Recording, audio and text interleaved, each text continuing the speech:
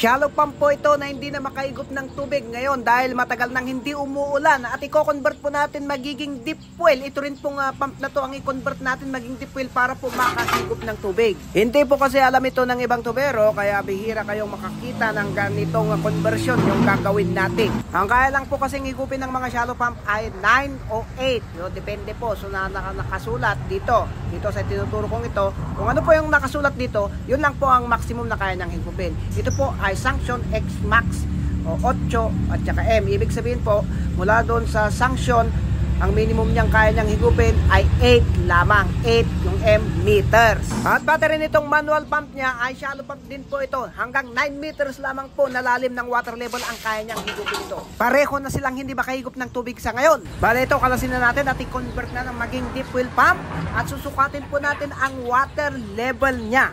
At kapag ang water level niya, ang lalim ng water level ay mga 9 o 8 meters pababa o 7 o 6 or 5, basta ganun lang po yung water level niya, ay ibig pong sabihin, kayang higupin ng mga kinaras natin ito, itong uh, Jetmatic pump at saka itong uh, shallow pump na to, kaya niyang higupin kung may tubig.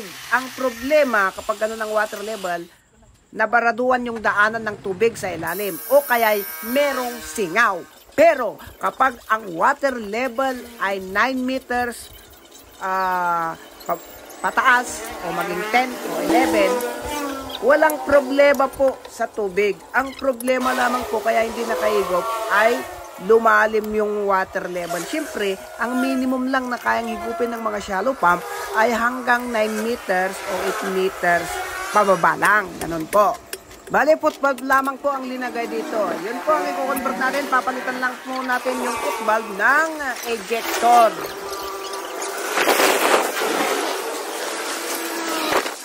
Bale, ito na po yung setup. Ano, footvalve lamang po yung linagay. O, ayan, hindi na yan makakahigop pa. Kasi nga lumalim na yung water level. Ayan, para po sa mga nagmamagalingan na footbab lang, hindi na kailangan ng ejector. Ay nako, huwag kayong uh, magmamagaling. Ano? Iba po ang mag, mag, nagmamagaling at saka magaling. Hindi kayo mas magaling sa mga scientists na nag-invento ng ejector.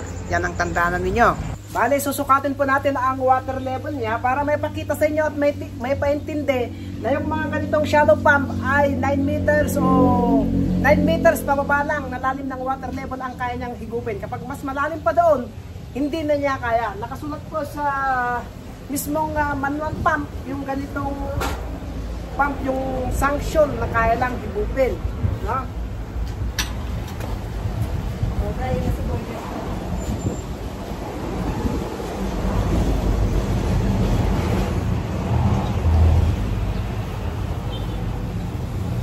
Ganito po ang pagsukat ng water level, ano? Yung water level po kasi ang pinagbabasihan dito, hindi yung lalim ng drilling o dami ng tubo na naibaon.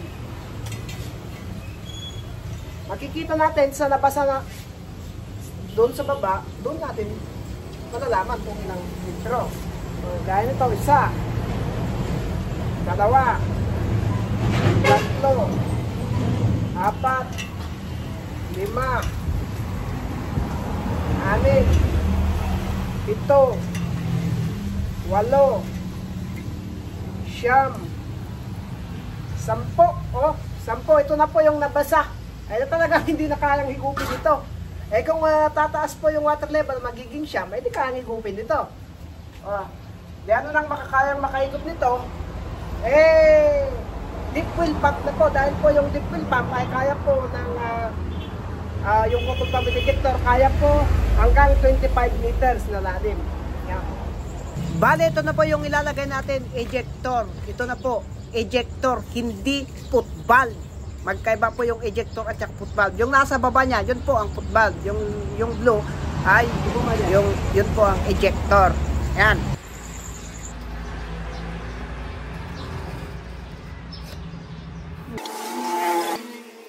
Bali gilid po kasi ng highway itong pinagre-referan po natin o pinagkukonvertan kaya maingay. Ayan, yung mga dumadaan na sasakyan, mga, maingay. Bali itong linalagay na natin ito ay yung adapter well ng deep well pump. Ayan ito. Adapter well po ang pangalan nito ha.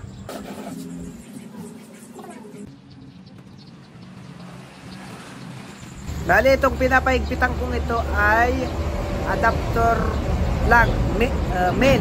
Ayan. Maglalagyan po natin ng uh, conversion po natin ano dahil po ang uh, gagamitin nating uh, uh, motor pump dito ay yung shallow pump. Hmm.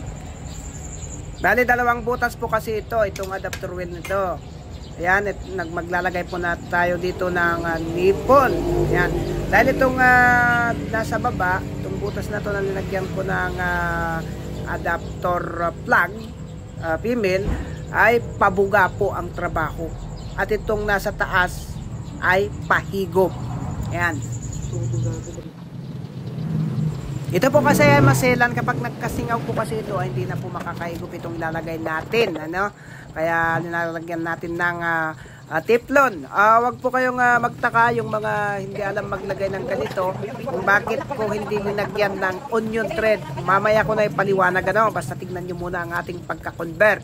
Kasi bihira lang po kasi ito. Ito po ang isang uh, pinaka-importante dito. Dahil convert nga itong uh, ginagawa natin dito. Uh, conversion. Oh. Oh, shallow pump din po itong uh, linagay natin, magiging deep well. Ha? Huh?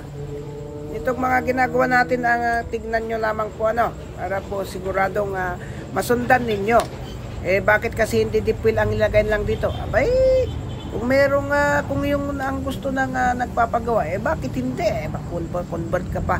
Ang uh, deep wheel pump po kasi na 1 horsepower ay aabot po ng 13,000 itong shallow pump na to kasi nga shallow pump lang ay mga 3,000 mahigit lamang po ito.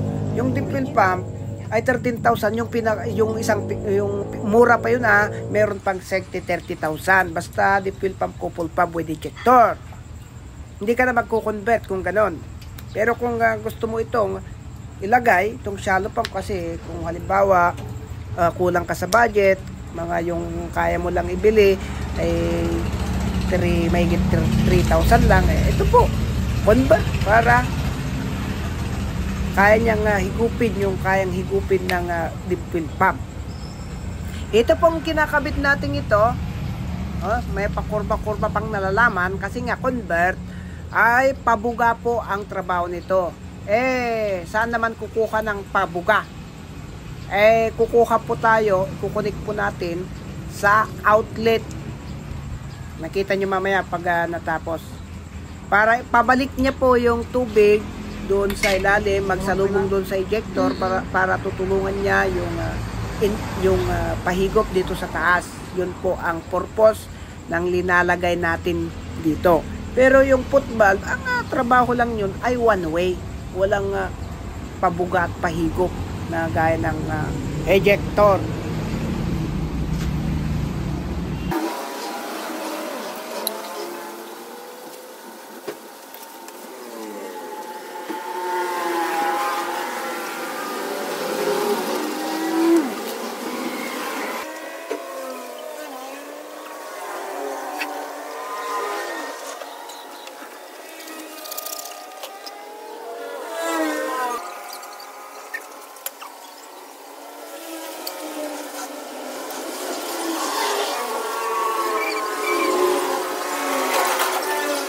Bali, ganito lang bang pagka-convert to. Ayan, dinodoble lang po natin nilalagyan ng uh, volcasit kasi pumapalya po yung solvent kung uh, minsan.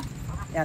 At saka testingin muna natin ang buga niya. Ayan, mandar na. Medyo may hangin pa kung ganito. Rinig naman yung, maririnig naman yung angdar ng makina kapag wala ng hangin. Saka okay na. Ito pinapakiramdaman lang po natin ano, kapag nagbago na po yung angdar, eh, okay na ang uh, buga. Ayan. Kapag okay na, eh, diretso na po natin doon sa pressure tank. Ayan. Ayan, okay na po ito. Wala na pong problema. 1 horsepower lamang po ito, ano? Kaya hindi po gaanong uh, kalakasan.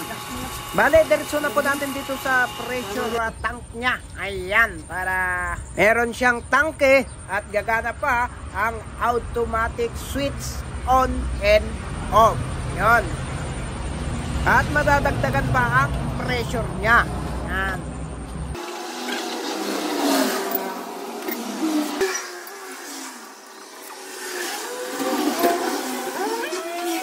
Bale, ganito na ang uh, postura. Ayan. Saka natin nilagay itong uh, mga wire dito sa automatic switch on and off niya. Bale, ito na. Tapos na. Ngayon ang uh, oras na ay uh, hapon na po.